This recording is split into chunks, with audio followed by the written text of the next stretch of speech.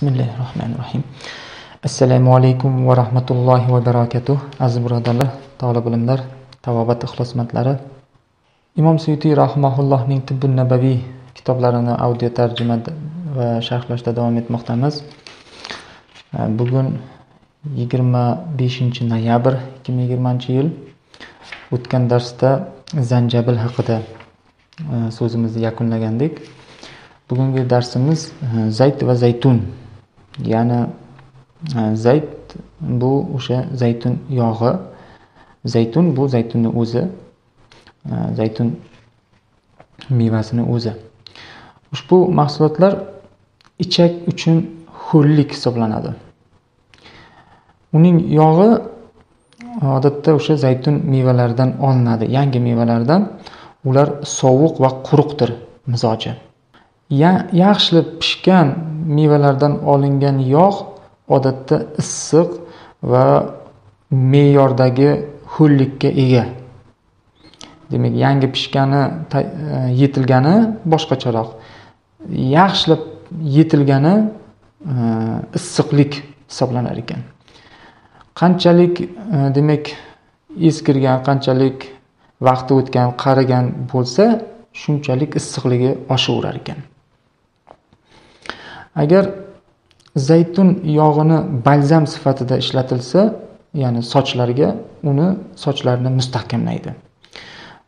Oyoq qo'llarni ham e, mustahkamlaydi uni sursa yog'ini zaytun yog'idan. Insonni biroz qarish jarayonini sekinlatadi. Ya'ni o'sha e, inson yosh bo'lishi uchun e, demak qarilikni sekinlatish uchun e, zaytun yog'idan foydalansa bo'ladi. Bunda aytish mumkinki e, qaysi bir darajada radikallarni chiqaruvchi antioksidantlik xususiyatidan darak beradi? Odatda e, qarilikni biroz to'xtatuvchi mahsulotlar. Albatta qarilik bir kun emas bir kun yetib keladi e, alloh umr bergan bo'lsa. Lekin o'shani sekinlatuvchi vosita sifatida zaytun keltirilgan ekan. Zaytun yog'ini iste'mol qilish turli xil zaharlanishlarda foydalidir. Demak zaharlanganda inson biror bir zahar bilan zaytun yog'ini iste'mol qilish kerak ekan. U e, ya'ni zaytun yog'i ichaklarni harakatga keltiradi. Og'riqlarni susaytiradi. Turli xil qurtlarni ichakdagi qurtlarni haydaydi. Shuningdek e, turli xil vaziyatlarda holatlarda qo'llaniladi. Uning balzami shunaqa bir aralashmasi oshqozonga e, bo'shashtiruvchidir. Uning e, demak yog'ni o'ziga qaraganda. Demak balzamga qo'shimcha narsalar qo'shilsa oshqozonga yumshatuvchi ta'sir qilar ekan. Zaytun moyini eng yaxshi navi bu infaq deb nomlangan ekan. Balki infoqdir.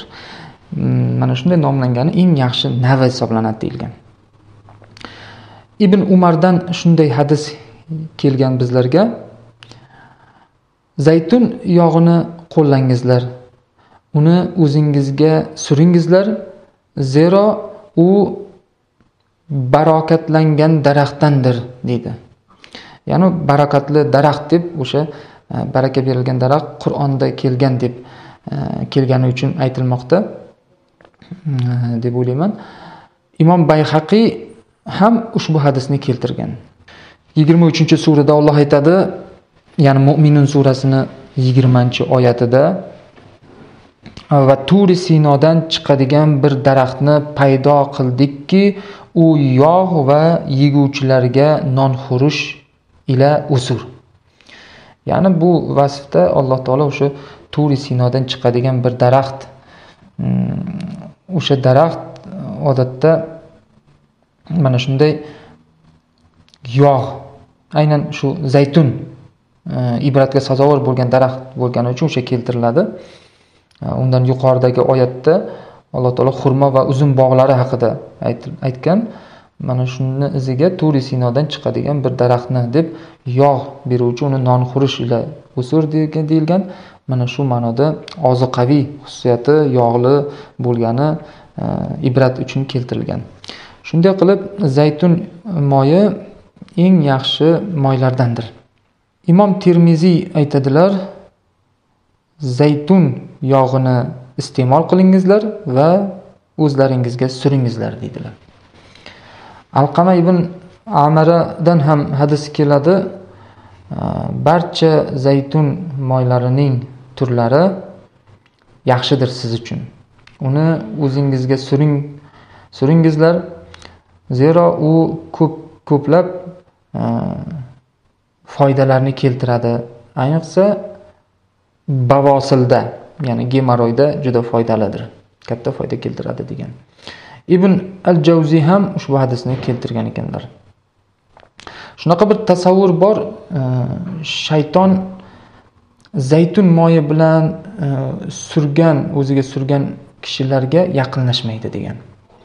Rasululloh sollallohu alayhi vasallam e, tez tez tavsiya etardilar zaytunni zaytunni iste'mol qilishni shuningdek zafaronni. E, bu ikkisini plevrit zotiljam shu holatlarda shuningdek e, u zaytun kambag'al bemorlar uchun kambag'allar uchun yaxshi bir vositadir dori vositasidir yashil rangdagi zaytun e, sovuq va quruq mizojli va juda ozuqaviy jihati yuqori. U oshqozonni mustahkamlaydi e, jinsiy faollikni rag'batlantiradi va bug'lanish ta'sirini ta'siriga qarshi ta'sir ko'rsatadi. Bug'lanishga qarshi ta'sir ko'rsatadi. Qora zaytun e, issiq va quruq mizojli. U e, savdoni hosil qiladi. Черный желчь va oshqozon uchun zararlidir. Sho'r zaytun e, sho'r zaytun olovlarda foydalidir. Demak zaytun yog'ini ham sal e, yog'ini sho'rrog'ini e, kuygan joylarga surish tavsiya etiladi.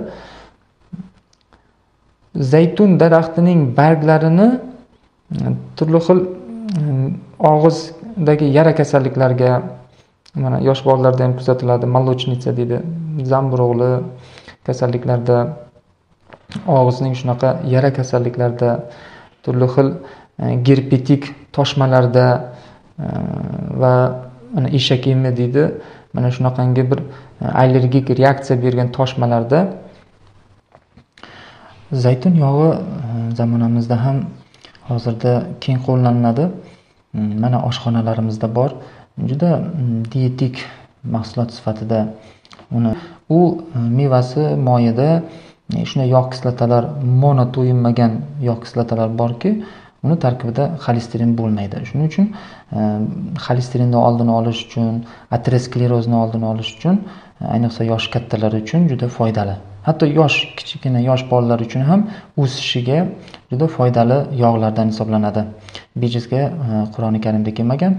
Uni hozirda shu antioksidlovchi xususiyatlari aniqlangan. E, juda ko'p foydali e, mikroelement vitaminlarga boy. O'sha qon oqimidagi zararli xolesterinni chiqarib tashlash kamaytirish hisobiga. Demak insonni qon tomir kasalliklari bilan og'riydigan bemorlarga tavsiya etiladi va uni oldini olishga kasallikni o'sha yurak qon tomir kasalliklarini oldini olishga qaratilgan hattoki mana insult o'tkazgan bemorlarga tavsiya etiladi. Ba'zi saraton kasalliklarini oldini olishda chet elda e, tekshiruvlar e, turli xil tadqiqotlar o'sha narsani ko'rsatganki o'sha e, onkologik hujayralarni ham kelib chiqishini oldini olishda ahamiyatli ekan.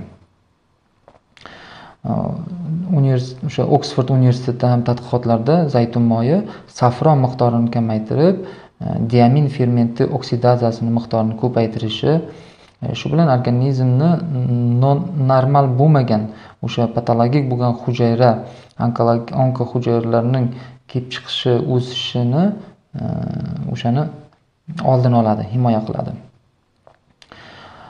Tadqiqotlar yana ko'rsatganki zaytun moyi bilan pishirilgan sabzavotlar iste'mol qilish turli xil poliartritlar bo'g'imlarni surunkali yallig'lanishi kasalligini chalinishni xavfini kamaytiradi. Suyaklarni o'sishida yordam beradi tarkibidagi e a b d va k k vitaminlari ham katta ham bolalar uchun suyaklarini o'sish shuning uchun e, suyaklarni demak mustahkamlashda uni yaxshilashda e, zaytun moyi juda foydali. Bolalarni rivojlanishi uchun ham shu yog'lardan foydalaniladi. Zaytun yog'i e, bolani miyasi asab tizimini tabiiy rivojlanishiga o'z hissasini qo'shadi. O'sha mutaxassislar shuni aniqlashgan. Qon bosimini tushiradi bu ham aniqlangan. O'sha turli xil ichki a'zolar uchun foydali ta'sir ko'rsatadi. O't pufagidan chiqadigan o'sha suyuqlikni tartibga soladi. O't pufagida tosh paydo bo'lish xavfini kamaytiradi. Mm, Xlorid mm, mavjud bo'ladi. Uning tarkibida jigar faoliyatiga yordam beradi. Ortiqcha mahsulotlarni tanadan yo'qotishga ko'maklashadi. Miya arteriyalariga foydali ta'sir ko'rsatadi. E, biz shuningdek e, mana oshqozon e, u qizil o'ngach kasalliklarida amaliyotda qo'llaganmiz. Uni hattoki e, jarohatlarga surishda juda qulay keladi. E, o'sha terini bitiruvchi xususiyatidan foydalanamiz. Zaytun moyi insulin qondagi glyukoza miqdorini yaxshiroq nazorat qilishda yordam beradi. Parhezkor sifatida mana aytdik e, semizlikni oldini olishda nazorat qilishda zaytun moyi juda foydali ekan. Hozirgi kunda keng qo'llaniladi zaytun moyi. Mana shunday ma'lumotlar edi zaytun moyi haqida. Keyingi mahsulotga o'tamiz. Bu sin harfidan boshlanar ekan. Sabasdan kordiya. Kordiya mm, bu bir shunday daraxt. Amerika afrika osiyoda tropik subtropik joylarda o'sadi. Mm, gullari oq. Uning tabiati mo'tadil ekan kordiyani u bilan og'iz chayilsa tomoqlarni e, yumshatadi oshqozonga ham e, yumshatuvchi ta'sir qiladi. U turli xil e, damlamalar huqnalar e, qaynatishda ishlatiladigan boshqa mahsulotlar tarkibiga kirar ekan. Uning mevalari bor. Hindistonda ham uni iste'mol qilishar ekan. Sirikoti deb nomlangan bir taxta mahsulotini olinar ekan undan daraxtidan. Mana shu ma'lumotlar kelgan. Keyingi mahsulot bu sidir. Лотосовое дерево лотосовое дерево sidr deyiladi demak boshni u bilan yuvilsa sidr bilan bir bo'lakcha boshga yordam berar ekan ya'ni insonni boshi uchun foydali deyilgan u qayzg'oqni ketkazadi demak sochdagi qayzg'oqlarni ketkazishda sidr daraxtidan foydalansa bo'lar ekan rasululloh sollallohu alayhi vasallam u haqida aytganlar Mm, aynan e, o'likni mayitni yuvishda mana shu mavzuga yana shu sidr daraxtidan bo'lgan suv bilan yuvishni tavsiya qilganlar. Alloh taolo o'z kalomida qur'oni karimni ellik uchinchi surasi najm surasida o'n to'rtinchi o'n oltinchi oyatlarida shunday deydi. Demak e, sidratul muntaha oldida ya'ni tugash daraxti oldida uning huzurida mavo jannati bor. O'shanda u daraxtni o'raydigan narsa o'rab turibdi deydi. Ya'ni bu e, sidra o'sha daraxt dedik muntaho tugash joyi. Shu bir tugash e, deb nomlanadi. Bu o'sha osmonda farishtalar o'sha daraxtni oldigacha bora oladi e, undan nariga o'tolmaydi. Rasululloh sollallohu alayhi vasallam o'sha yerda mm, demak alloh taolodan e, namoz haqida besh vaqt namoz baqara surasini oxiri ummatlaridan shirk keltirmaganlarni mag'firat qilinishi xabarini olganlar. E, mana shu yerda e, demak o'sha sidr daraxti deb nomlanyapti. Demak e, osmonda e, olloh huzuriga o'tish joyida bir chegarada shu daraxt bor ekan. Uni o'raydigan narsani nima ekanligi aytilmagan. Ollohni nuri farishta deganlar ham bor. Hmm, o'raydigan narsa bir vasfdan tashqari bir ulkan ekanligi kelib chiqmoqda. Demak umuman sidr haqida e, shu ma'lumotlar keltirilgan. Yana ellik oltinchi sura ham keltirilgan. Voqea surasini yigirma sakkizinchi oyati ular tikansiz sidr zorlardadirlar deydi ya'ni bu sidr o'sha xushbo'y hidli buta dedik. Arablar uni o'sha hidi uchun yaxshi ko'rardi ko'radi ammo uni shu tikanlari ozor beradi. Mana shuning uchun alloh taolo uni tikansiz holatda e, jannat ahli sidrzorlardadirlar deydi demak uni vasfi mana shu yerda kelmoqda. Keyingi mahsulot bu safar jal ayva. Ya'ni behi. Behi tabiati sovuq va quruq. Oshqozonni juda jumaytiruvchi burishtiruvchi. U hayz kelishini ketishini sekinlatadi. Hayz ketishini sekinlatadi. Ushbu behini iste'mol qilish agar taomdan keyin ovqatdan keyin iste'mol qilinsa oshqozonni bo'shashtirar ekan. Biroq uni haddan ziyod ko'p iste'mol qilinsa e, ichak og'riqlariga sababchi bo'lishi mumkin ekan. Mana qarang demak e, taomdan keyin iste'mol qilsa oshqozonni bo'shashtirar ekan. Aslida meni nazarimda u e, xuddi bir qotirish xususiyatiga ega deb o'ylagandim. Taomdan keyin og'irlik bo'ladi oshqozonga deb o'ylagandim. Lekin qarangki e, uni taomdan keyin iste'mol qilish oshqozonni bo'shashtiruvchi deb keltirilgan. Uning qiyomi e, yo'tallarda tomoq og'riqlarida foydali yordam beradi. Behidan e, turli xil xushbo'ylik shunaqa xushbo'y qiyomlar tayyorlanadi. Shuningdek o'sha ichni yumshatuvchi bo'lgan qiyomlar aynan behidan olinar ekan. Mani nazarimda biroz ichni qotiradi deb o'ylagandim lekin bu yerda e, o'sha ichni yumshatuvchi e, shu bilan birga burishtiruvchi e, laym degan o'simlik bilan birgalikda qiyom olinadi. Boshqa xom behidan bo'lgan qiyom olinadi. Shuningdek vena tomirlarini mustahkamlovchi behidan tayyorlangan maz olinar ekan. Oshqozonni e, hamda boshqa tonusni kuchaytiruvchi yurakka quvvat beruvchi insonni ruhiy holatini yaxshilovchi mahsulotlar olinar ekan. E, Behiga ambra qo'shilsa yanayam e, samarali bir vosita hosil bo'ladi. Mashhur hadis bor anas roziyallohu anhuga nisbat beriladi. Och qoringa behi yengizlar deydilar. Demak och qoringa ham behi yesa bo'lar ekan. Talha aytadilar rasululloh sollallohu alayhi vasallam menga behi berdilar va aytdilarki buni yeb qo'y. Zero darhaqiqat u qalbni yumshatadi. Hmm, yurakni yumshatadi qalbni yumshatadi.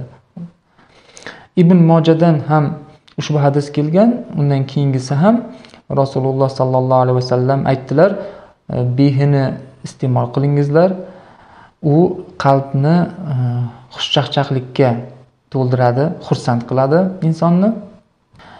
Alloh taolo biror bir payg'ambarni yubormaganki e, biror bir payg'ambarga unga mana shu jannat mevasi bo'lgan behidan e, oldindan yedirmagan bo'lsa. Zero u qirq kishini qirqta insonga kamida qirqta insonga kuch baxshida etadi demak quvvat beruvchi tarzida keltirilgan. Xuddi o'sha manbadan yana boshqa hadis keyingi hadis keltirilgan. Ayollaringizga Э, behi beringizlar ular homiladorlik vaqtida shu behini iste'mol qilishsin. Э, zero u qalbni yana ham э, nozik muloyimlashtiradi. Ishini yurakni ishini yaxshilaydi. Ya'ni bu yerda yurakni ishini muloyim qiladi deyilganda bu qalbga bir o'ziga xos yoqimli bir xususiyatlar nozik noziklikni e, ehtirosni yaxshilab beradi degan ma'no deb keltirilgan. Ya'ni inson yana ham sezgir yana ham e, ajoyib xususiyatlarga ega bo'ladi deyilgan.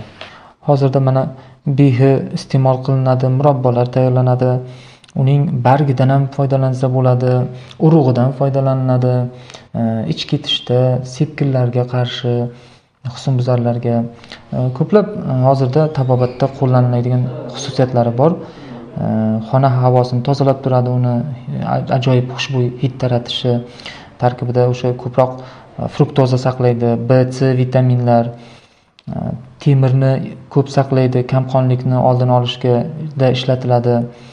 Ayollar kasalligida o'sha sistitni davolashda behi bargi damlamasidan foydalaniladi. O'sha ko'pgina e, kasalliklarda shamollashlarda e, mavsum o'sha gripp bronxial astma kasalligida deylik mana yo'talga va boshqa holatlarga juda foydalidir. E, mana shu mahsulot haqida suhbat yuritdik. Keyingi mahsulotimiz bu sukar sahr ya'ni shakar. Shakarning mizoji issiq va ho'l. U mm, demak balg'amdan tozalaydi oshqozonni bo'shashtiradi. Jigar rangdagi shakar bor u ancha muloyimroq. U tananing turli chuqur qismdagi a'zolargacha o'zining e, shifobaxsh ta'sirini o'tkazadi. Demak e, jigar rangdagi shakar foydaliroq ekan o'sha e, eng a'zolarning chetdagi joylargacha shifobaxsh ta'siri bo'ladi. Ya'ni bu quvvat manbai. Bekorga biz mana e, glyukoza qo'ymaymiz. U to'g'ridan to'g'ri barcha a'zolarga ayniqsa miyaga e, boshqa a'zolarga ham muhim bo'lgan a'zolarga quvvat manbai hisoblanadi. Shu bilan birga mana a'zolarning ish faoliyati yaxshilanadi. Sahrniy trostnik e, degan qism ya'ni shakar qamish. Uning demak o'ta ho'lligi mavjud ekan. e, E, shuning uchundir balki u e, qora qo'tir hosil qiladi deyilgan. E, shakar shakar qamish demak mana shunaqa ho'lligi ko'p ba'zi holatlarda qora qo'tir hosil qilishi mumkin ekan. Lekin shakarni o'zini olsak ko'p iste'mol qilmaslik kerak deymiz. Mana oq qand inson tanasiga zararli deymiz. Izoh sifatida keltirmoqdaman. Bu haqiqatdan uni o'rniga mm, murakkab bo'lgan fruktozalar foydali. Shuning uchun mana asal e, hech bo'lmaganda navot foydali deymiz. Issiqligi yaxshi. E, shakar esa tezgina e, organizmga singadi qondagi qand miqdorini oshiradi tishlarga ham zarar beradi. Zararlik jihati bor. Lekin o'z o'rnida me'yorda qabul qilinsa kerakli o'rinda foydali. Undan ko'ra lekin murakkab uglevodlarni qabul qilsak yaxshiroq ekan. Mana shu fikrdaman. Keyingi mahsulot bu sak. Alicha ya'ni ruschada ham alicha deb qo'yibdi olcha. Olcha oshqozonni mustahkamlaydi. Shirin bir hidni neytrallaydi mo'tadillashtiradi.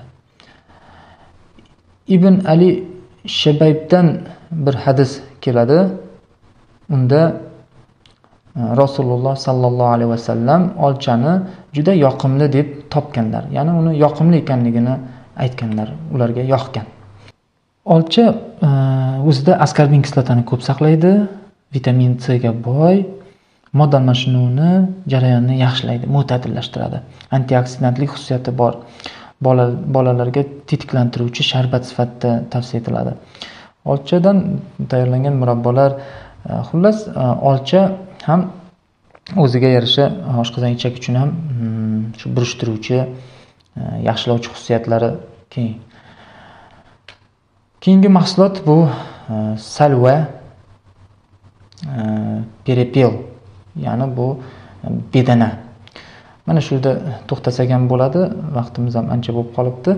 Keyingi darsda inshaalloh mana shu bedanadan boshlaymiz.